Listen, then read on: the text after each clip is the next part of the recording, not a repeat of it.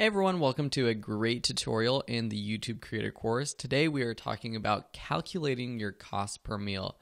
First of all, what is cost per mille? Cost per mille is how much money it costs for a, an advertiser per thousand impressions. And what does that mean for you? It's how much money will you make for every 1,000 views of your video that have ads on it. So there's a simple calculation. Mm,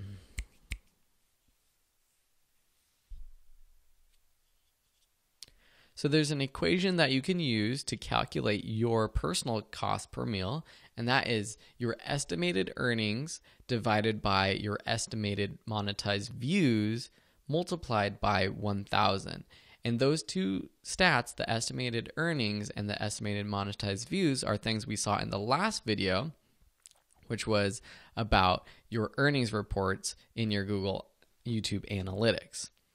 And so take those two, and for example, say you have $300 in estimated earnings, and then you have 40,000 estimated views, monetized views. So those are views again with ads on it. Then multiply that by 1,000, and you will get 7.5 or $7.50 per thousand monetized views. And that is typically the average of YouTube CPM I would say between seven and eight is what the average is. And so that's really great to know. But why why is this important? Well, the main thing for me is you can use CPM to create earnings goals because now you know how much you make for every thousand monetized views. You can say, hey, I want to make $1,000 per month. What will get me there? And you can calculate that you'll need 133,000 monetized views per month to get $1,000 per month. So that is not, and that's definitely doable if you are a, a, consistent, high quality YouTuber. There are a lot of people doing way more than this, and this is on the path that I'm on myself to getting to that number. And just because we know the CPM, we can see this. And by knowing that and seeing this, we can work harder to achieve this goal. Say you want to make $60,000 per year as a YouTuber and you want to do this full time.